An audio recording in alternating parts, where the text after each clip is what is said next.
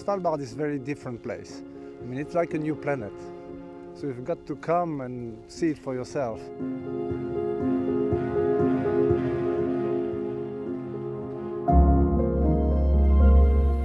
The thing I like most about the, the smaller boats is you get time to, to really get to know the passengers, really understand what it is that they want to see, what's really driven them to come on the trip here. We are few per person, so you can see much more. I think it's important to, to feel this wilderness with few people.